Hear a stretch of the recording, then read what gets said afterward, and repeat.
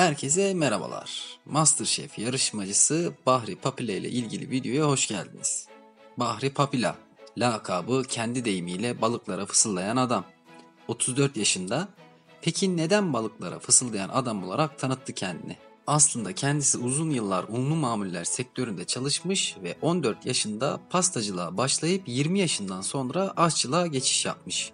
Ailesi tam 3 kuşaktan beri fırıncılıkla uğraşmış. Zonguldaklı ve Zonguldak'ta yaşıyor. Çocuk yaştan beri balık yakalamayı çok seviyormuş. Sonra balıkları ayıklamaya merak sarmış derken çeşit çeşit balıkları pişirmeye merak salmış ve bütün balıkları değişik yollarla pişirme deneyleri yapmaya başlamış. Bakmış ki güzel yapıyor. O günden sonra pastacılığı bırakıp aşçılık yapmaya başlamış. Masterchef'e kendini ispatlamak ve güzel vakit geçirebilmek için katılmaya karar vermiş ancak yarışmaya katılabilmek için işini bırakmak zorunda kalmış.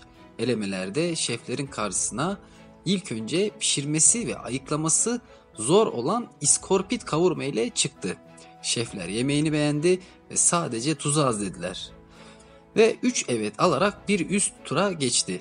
Tam bu esnada Zonguldak basını kendisinden oldukça bahsetti.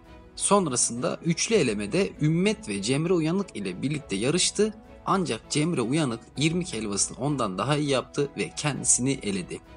Sonra Masterchef onsuz bir süre devam etti ancak bir anda kendisine bir şans doğdu ve yarışmaya çağrıldı. Masterchef macerasına yeniden dahil oldu.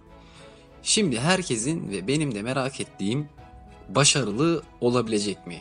Çünkü aynı şekilde yarışmaya geri çağrılan Orhan Bey ve Müge Hanım geldikten kısa süre sonra yarışmadan elendiler.